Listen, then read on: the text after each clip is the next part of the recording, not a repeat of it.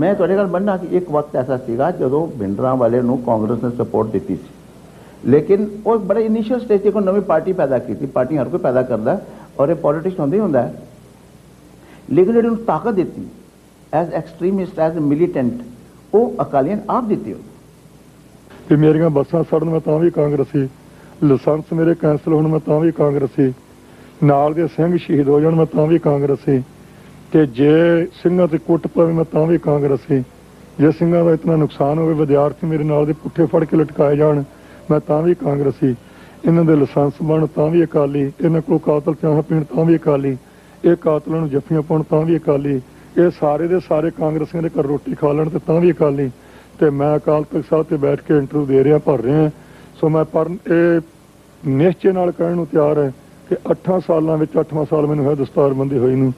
8 ਸਾਲਾਂ ਵਿੱਚ ਕਿਸੇ ਕਾਂਗਰਸੀ ਐਮਐਲਏ ਦੇ ਘਰੋਂ ਕਿਸੇ ਅਕਾਲੀ ਐਮਐਲਏ ਦੇ ਘਰੋਂ ਕਿਸੇ ਕਾਮਰੇਡ ਐਮਐਲਏ ਦੇ ਘਰੋਂ ਕਿਸੇ ਸੋਸ਼ਲਿਸਟ ਐਮਐਲਏ ਦੇ ਘਰੋਂ ਦਾਸ ਨੂੰ ਕਿਸੇ ਨੇ ਫਿੱਕੇ ਪਾਣੀ ਦੀ ਵੀ ਕੋਟਿਕ ਪੀਂਦਿਆਂ ਹੋਇਆ ਮੈਨੂੰ ਕਿਸੇ ਨੇ ਵੇਖਿਆ ਜਾਂ ਫੜਿਆ ਤੇ ਮੈਂ ਆਪਣਾ ਸਿਰ ਵਡਵਾਉਣ ਨੂੰ ਤਿਆਰ ਹਾਂ ਹਾਂ ਜਨਤਾ ਦੇ ਘਰੋਂ ਚਾਹੇ ਕੋਈ ਕਾਂਗਰਸੀ ਹੈ ਚਾਹੇ ਅਕਾਲੀ ਹੈ ਉਹ ਮੈਂ ਲੰਗਰ ਛਕਦਾ ਕਿਉਂਕਿ ਮੇਰੇ ਕੋਲ ਜਿਹੜਾ ਆਇਆ ਮੈਂ ਉਹਨੂੰ ਅਮਰ ਛਕਾਉਣਾ ਤੇ ਗੁਰੂ ਦੇ ਲੜ ਲਾਉਣਾ ਇਹ ਮੇਰਾ ਕੰਮ ਹੈ ਜਦੋਂ ਪਿੰਡਰਾਂ ਵਾਲੇ ਆਪਣੇ ਅਨੁਵਾਈਆਂ ਸਹਿਤ ਅਕਾਲ ਤਖਤ ਦੇ ਸਥਾਨ ਤੇ ਚਲੇ ਗਏ ਤਾਂ ਸਰਕਾਰ ਨਾਲ ਹੋਣ ਵਾਲੇ ਕਿਸੇ ਸੰਭਾਵਿਤ ਟਕਰਾਅ ਨੂੰ ਮੁੱਖ ਰੱਖਦੇ ਹੋਏ ਦਰਬਾਰ ਸਾਹਿਬ ਦੇ ਆਸ-ਪਾਸ ਮੋਰਚੇਬੰਦੀ ਕਰਨੀ ਸ਼ੁਰੂ ਕਰ ਦਿੱਤੀ ਉਹਨਾਂ ਕੋਲ ਇਤਨੀ ਮਾਤਰਾ ਵਿੱਚ ਹਥਿਆਰ ਕਿਵੇਂ ਪਹੁੰਚੇ ਇਹ ਵੀ ਇੱਕ ਬੜਾ ਵੱਡਾ ਪ੍ਰਸ਼ਨ ਹੈ you know, you may not believe this, but till the end of December 83, there were hardly any arms in the temple. Hardly any. Then they started to get arms in, but as the government in Delhi, in fact, you should interview some of those people, huh? Uh, knows fully well that there were these Kar Seva trucks going in, one of which was stopped in January 84. It was filled with weapons. Hmm? And the police stopped it and rang Delhi. And Delhi said, let it go in. Now, who allowed that truck to go in? So the arming I personally think was part of the game, you know, that they actually wanted this kind of, you know, great Asian Games of the Golden Temple to win them the, the next election, you know, so they allowed that to happen. Punjab ਵਿੱਚ ਵਧੇ ਹੋਏ ਤਣਾਅ ਤੇ Darbar Sahib complex ਵਿੱਚ ਹੋ ਰਹੀ ਮੋਰਚੇਬੰਦੀ ਨੂੰ ਅਖਬਾਰਾਂ ਤੇ ਕੇਂਦਰ ਦੀ ਸਰਕਾਰ ਨੇ ਰੱਜ ਕੇ ਉਛਾਲਿਆ ਸਰਕਾਰੀ ਨਿਯੰਤਰਣ ਥੱਲੇ ਕੰਮ ਕਰਨ ਵਾਲੇ ਮੀਡੀਆ ਤੋਂ ਦਿਨ ਰਾਤ ਪ੍ਰਚਾਰ ਕਰਕੇ ਦੇਸ਼ ਵਾਸੀਆਂ ਨੂੰ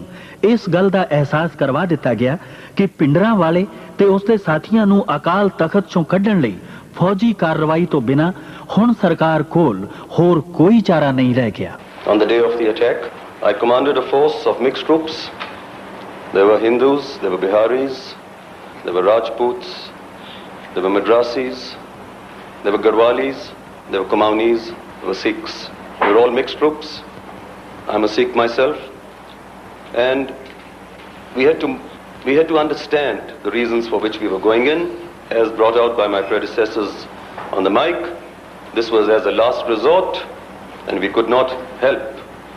but entering the Golden Temple complex so that the country was not held to ransom any longer.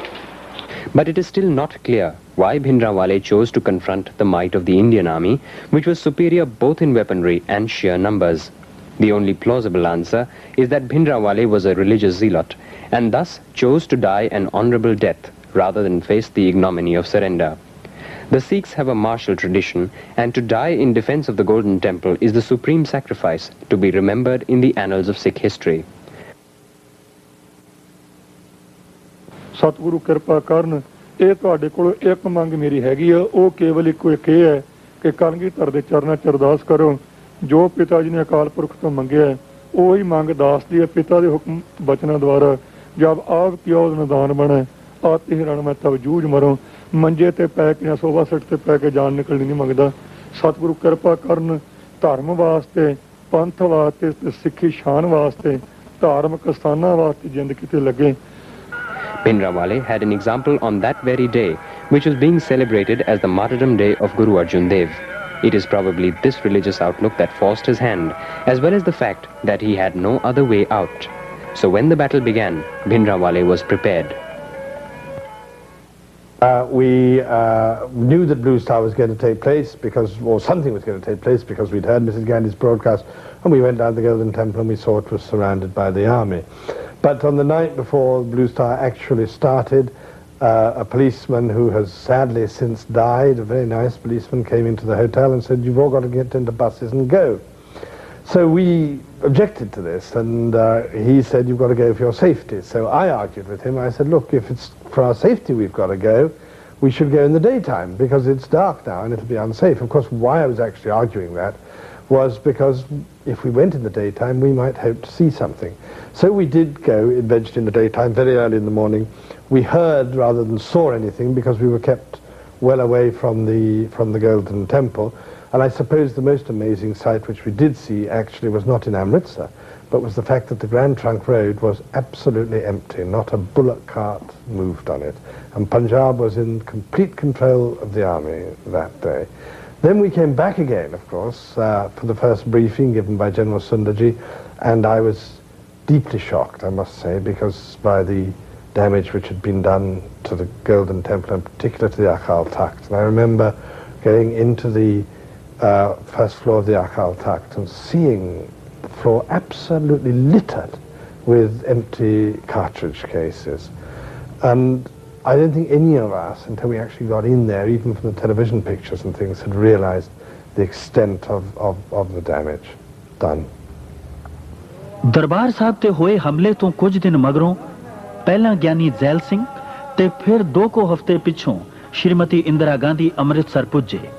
ਉਹਨਾਂ ਹਰਮੰਦਰ ਸਾਹਿਬ ਵਿੱਚ ਮੱਥਾ ਟੇਕਿਆ ਤੇ ਅਕਾਲ ਤਖਤ ਸਾਹਿਬ ਤੇ ਹੋਰ ਇਮਾਰਤਾਂ ਨੂੰ ਹੋਏ ਨੁਕਸਾਨ ਦਾ ਜਾਇਜ਼ਾ ਲਿਆ ਉਹਨਾਂ ਨੇ ਤਬਾਹ ਹੋਏ ਅਕਾਲ ਤਖਤ ਦੀ ਮੁਰੰਮਤ ਕਰਵਾ ਕੇ ਫੌਜੀ ਕਾਰਵਾਈ ਉੱਪਰ ਪਰਦਾ ਪਾ ਦੇਣ ਦਾ ਫੈਸਲਾ ਕਰ ਲਿਆ ਉਹਨਾਂ ਦਾ ਖਿਆਲ ਸੀ ਕਿ ਜਦੋਂ ਤੱਕ ਤਬਾਹ ਤੇ ਬਰਬਾਦ ਹੋਇਆ ਅਕਾਲ ਤਖਤ ਸਿੱਖਾਂ ਦੀਆਂ ਅੱਖਾਂ ਸਾਹਮਣੇ ਰਹੇਗਾ ਉਹ ਇਹ ਗੱਲ ਨਹੀਂ ਭੁੱਲ ਸਕਣਗੇ ਕਿ ਉਹਨਾਂ ਦੇ ਇਸ ਪਾਵਨ ਪਵਿੱਤਰ ਸਥਾਨ ਨੂੰ ਭਾਰਤੀ ਫੌਜਾਂ ਨੇ ਆਪਰੇਸ਼ਨ ਬਲੂ ਸਟਾਰ ਦੇ ਦੌਰਾਨ ਤਬਾਹ ਕੀਤਾ ਸੀ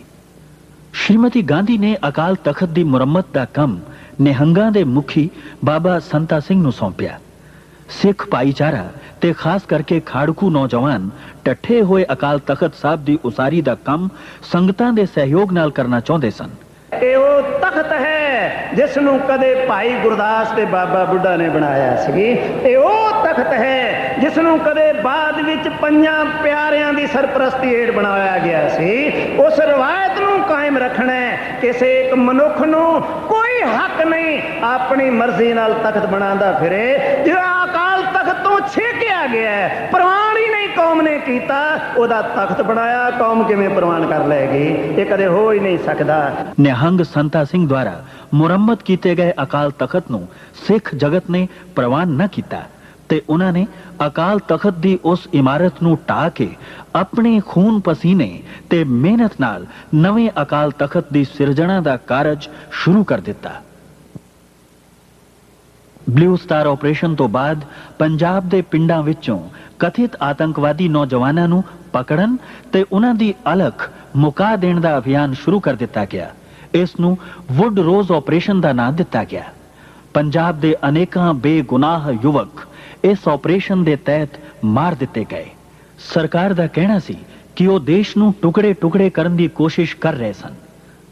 ਸਰਕਾਰੀ ਮਸ਼ੀਨਰੀ ਦੇ ਹੱਥ ਮਜ਼ਬੂਤ ਕਰਨ ਲਈ ਵਿਧਾਨ ਵਿੱਚ ਤਰਮੀਮਾ ਕਰਕੇ ਇਹੋ ਜਿਹੇ ਕਾਨੂੰਨ ਪਾਸ ਕੀਤੇ ਗਏ ਜਿਨ੍ਹਾਂ ਨੂੰ ਪੰਜਾਬ ਦੇ ਲੋਕਾਂ ਨੇ ਕਾਲੇ ਕਾਨੂੰਨਾਂ ਦਾ ਨਾਮ ਦਿੱਤਾ uh, after Blue Star, another hideous mistake was made, and that was this so-called Operation Woodrose, when people talked loosely about flushing out terrorists. And the end result was you didn't flush out terrorists, you created a whole lot more. And then you see every government is based on justice,